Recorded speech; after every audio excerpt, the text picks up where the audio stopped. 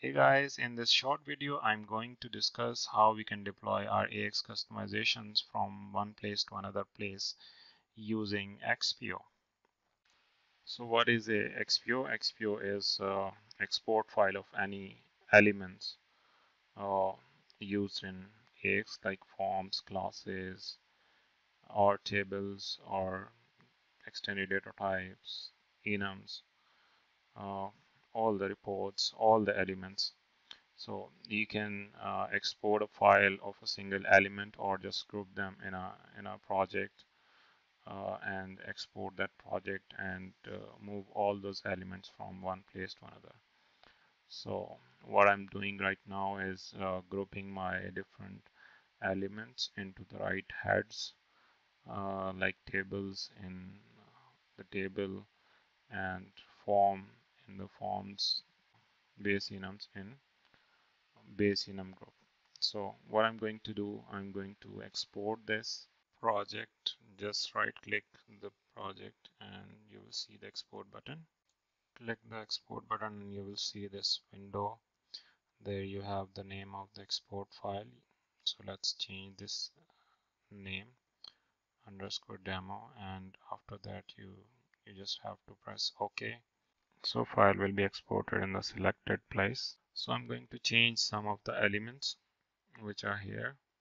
So it will be different uh, from the XPO once we will import it. Few things uh, anybody who's deploying the code should know that uh, don't blindly import any XPO. I would suggest that you should compare all the elements of an XPO and just import that change which you want to import and you have just customized on your development server. So uh, if you don't compare uh, an element and see what is the code difference uh, there might be some some code which is there on the server and you don't have on your XPO. So if you import that XPO blindly or just without comparing it, you might end up uh, like deleting all that code which is not in, on the XPO. So that could be a huge loss depending on the code. So you need to import now. Click on import button. Click on browse. Look for your uh, export file. Here is our export file demo so now you need to click on show details. So it will show you how many elements this XPO have and what are those elements. So you can see them individually. They're in different heads. You can compare them one by one. So let's start comparing them one by one. So you can see the changes uh, in red and blue blue means it's in the XPO and red red means it's in the user layer. So you need to decide what to keep and what to not. So let's compare the next table. So once you will compare it there is a blue and red symbol which means there are some changes. So we can directly import changes from here by clicking this button. So once once we clicked it uh, now those changes are made. So we need to go to the table and just save it. Let's compare the next element and that is enum. So compare it and you will see there is one change.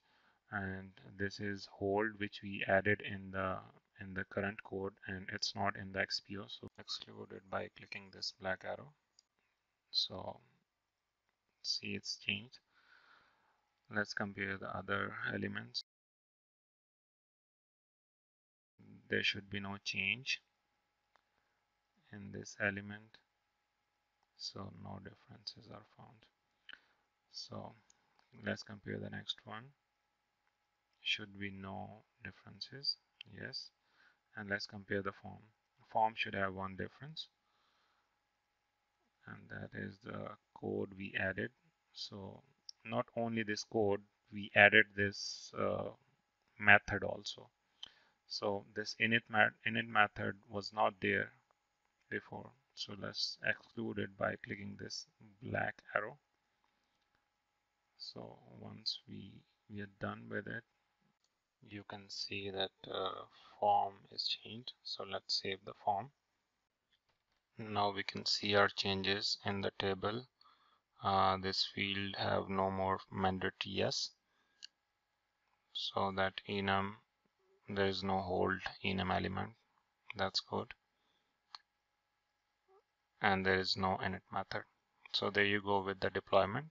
That's done. Thank you for watching. Leave your suggestions in the comments